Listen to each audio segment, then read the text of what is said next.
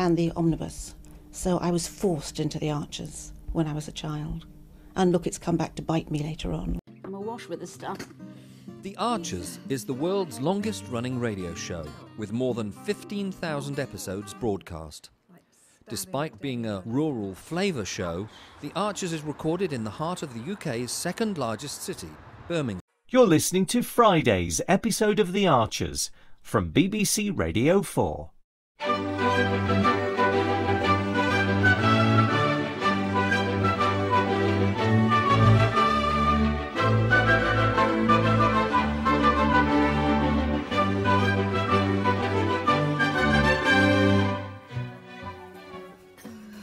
You're getting so good at these victory rolls, Chelsea. I look almost glamorous. What are you talking about? You look absolutely stunning. Oh, thank you. But I do need to go and get ready for work in a minute. Okay, just um, let me do this last roll.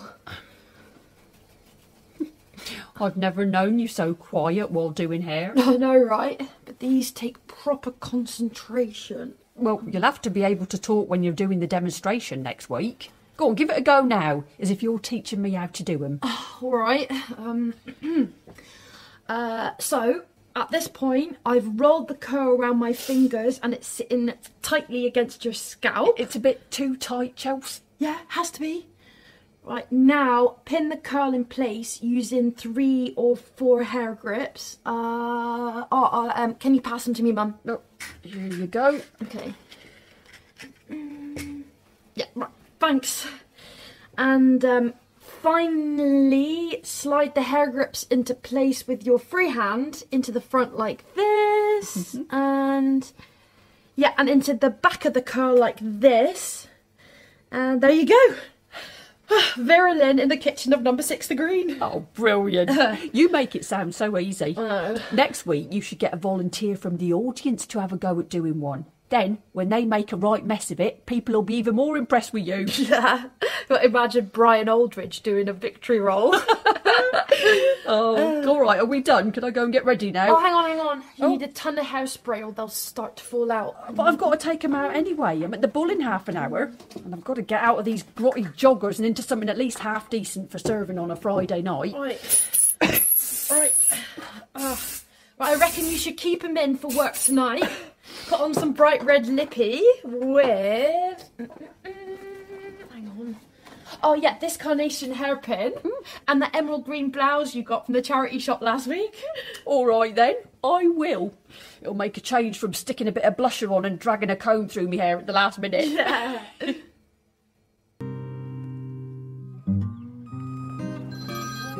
Hiya. Hi, Freddie. All right, Vince. How's life at the lake treating you? It's a revelation. Total peace. How's things going there? Oh, it's been busy. Any more complaints? Um, I'd rather know. yeah, well, may- maybe a couple.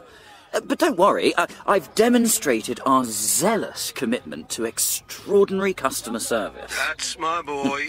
Oh, uh, did you get my message? About following Jason. Yeah. It's not him. I wasted three hours of my life hanging behind his van, and it was a model delivery. He didn't even stop off for a cheeky burger. I thought you were joking when you said you were going to follow him. Eh? Why would you think that?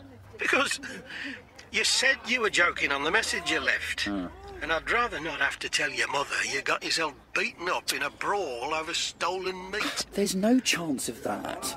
Look, I stayed in the car the whole time. I kept well back, well hidden. I'm not stupid. Well, good. Anyway, Antonio's on the late delivery tonight. And if I park up on the approach road to the abattoir, I can follow his van as it leaves the yard. Or you could wait until I'm back, which was the plan all along. I'd be much happier if we did this together. Uh, so, sorry, Vince, I- I- I'm gonna have to go. There's another call coming through. Ah. So, anything good planned for the weekend, George? Uh, drilling Swedes first thing tomorrow, then just gaming and the cricket. Hang on, is that me on your phone? Yeah. Or I'm editing footage from the T20, trying to get another post out of it. I hope you're not putting anything up online that makes me into a laughing stock, George.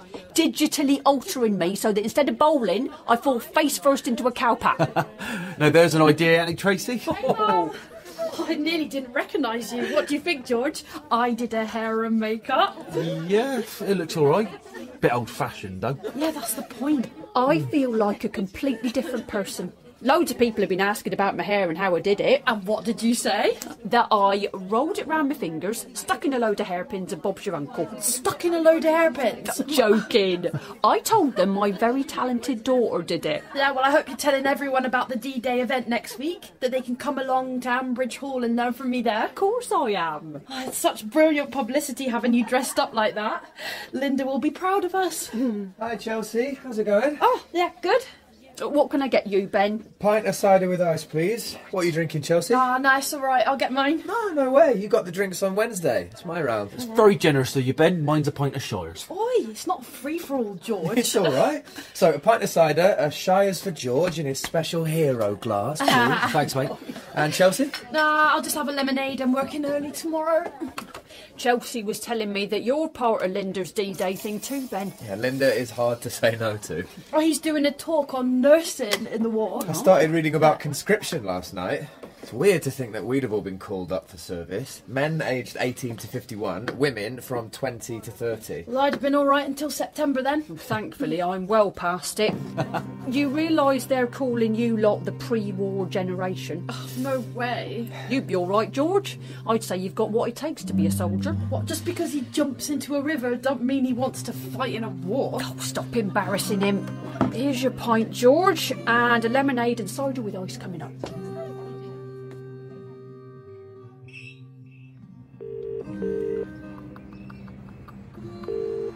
Hi, Freddie. Hiya, mate. Where are you?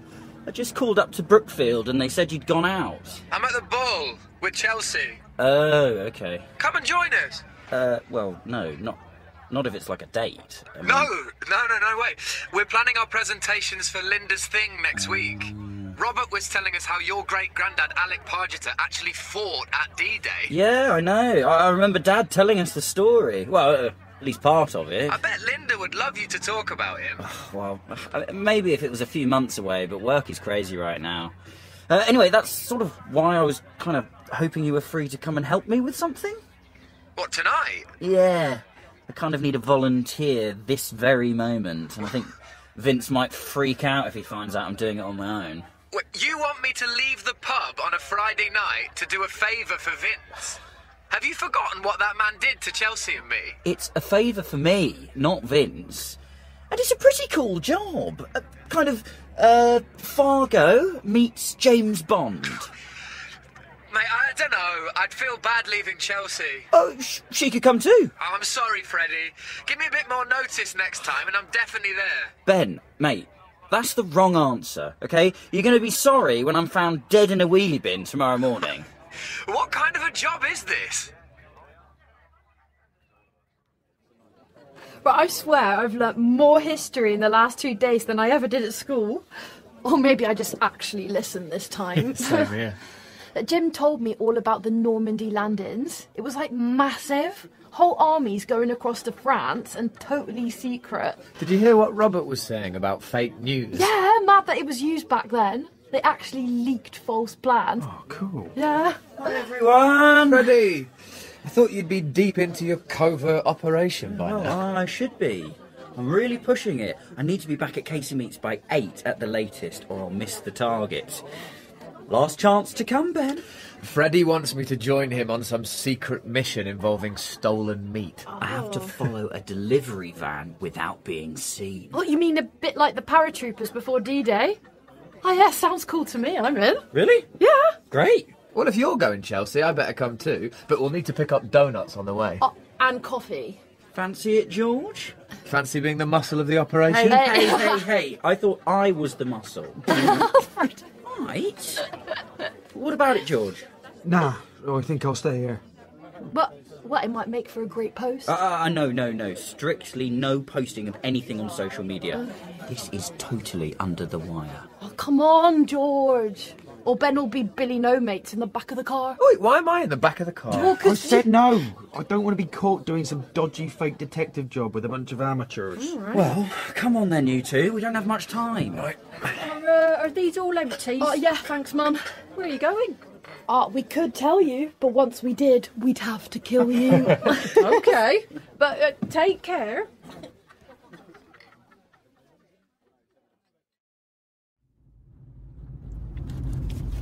Do you want another donut, Freddie? There's double chocolate or rainbow sprinkles. No, no, I- I'm okay, thanks. Can you see? Is that the Casey Meats van indicating? uh, yeah, definitely. There's a lay-by down here. I bet that's where he's going. Hey, what's he called again? Antonio. What on earth is he up to? he probably needs a wee. Oh, I'm gonna have to indicate too. I hope it's not too obvious. Here's the lay-by. I'll just park up right at this end and, and kill the lights. Would you see who that is, Chelsea? What? Oh. Right, it's Vince. Oh, damn. What's up? He doesn't know I'm here. What?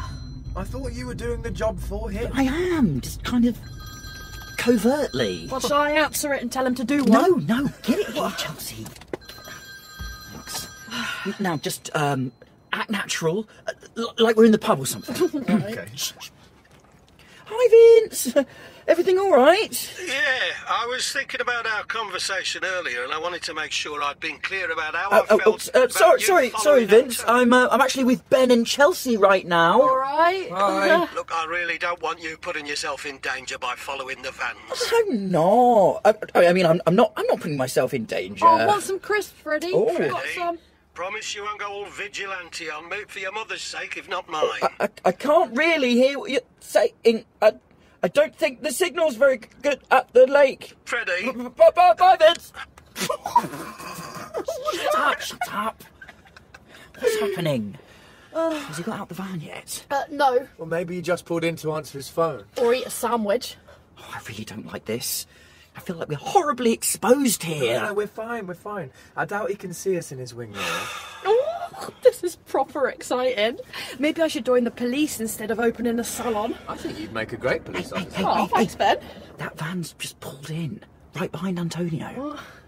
Can you see the number plate? Uh, No, it's too far away. Or like covered in mud or something. oh, hey, hey, Freddie, I think your driver's getting out. Yeah, yeah, he is. Look, he's he's talking to the other guy. Oh, I can't see properly. Unless I actually see Antonio handing over meat, this proves nothing. Oh, the other guy is opening his passenger side door. Hey, do you want to swap seats, Freddie? I think I've got a better view. He's walking this way.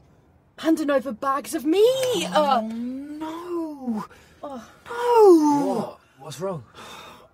That's not Antonio! what, you mean we followed the wrong van? No, no, it's one of our vans, all right, but that man is not Antonio. Well, surely that's good news, isn't it? You wanted Vince to be wrong about the ex-con. Yeah, yeah, but I, I really, really didn't want it to be Jason. Why? Is he a mate? No, not exactly. But he's a good worker, a family man. What, who just happens to steal meat off you and sell it on?